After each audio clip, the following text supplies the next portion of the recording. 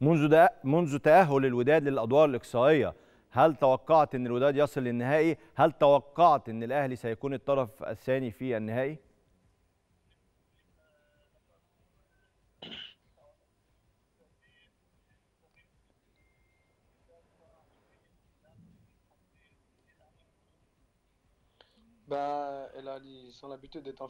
الأهلي Nous, له الأهلي معتاد على الوصول par النهائي. بالنسبة لنا كنا نأخذ المباراة بمباراة. كنا نفكر في مباراة matchs كل يوم على حدة. اليوم نحن في النهائي. لدينا المباراة النهائية. هذا أمر هام جدا.